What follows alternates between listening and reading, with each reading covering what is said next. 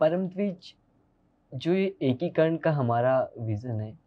अगर हम भारत देश की बात करें तो भारत में विभिन्न भाषाएँ हैं अलग अलग प्रकार के लोग रहते हैं, भाषाएँ अलग हैं, जातियाँ, धर्म और विभिन्न चीज़ें।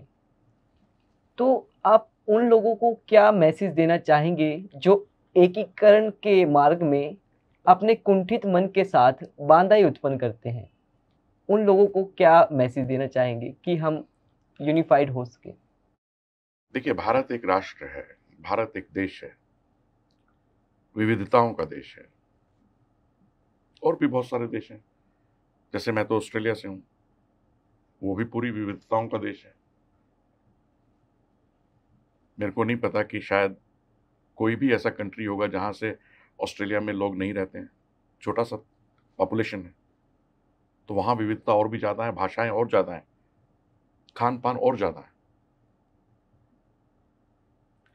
विविधता में एकता कैसे हो? आपका प्रश्न ये है कि वो चेंज कैसे हो? विविधता में एकता मेरे हिसाब से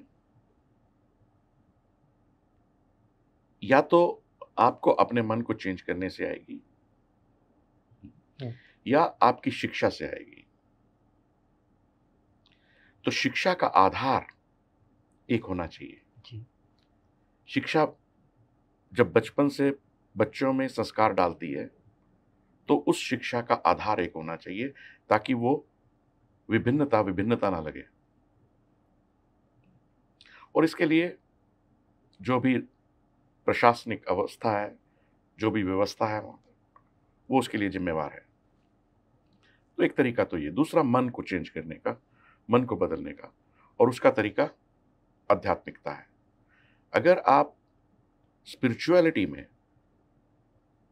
बिना किसी बाधा के बिना किसी रोक टोक के पूरी सच्चाई और ईमानदारी के साथ विश्वास करेंगे और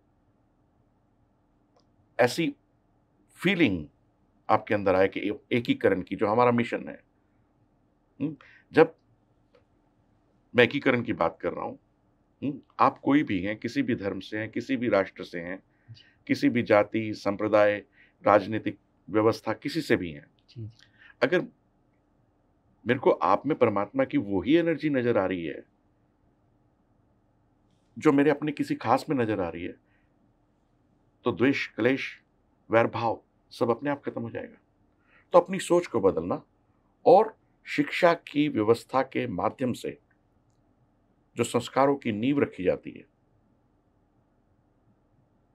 जब आप बड़े हो रहे होते हैं, उस नींव को ठीक करना। इन दो माध्यम से मेरे हिसाब से ये सब मुमकिन है।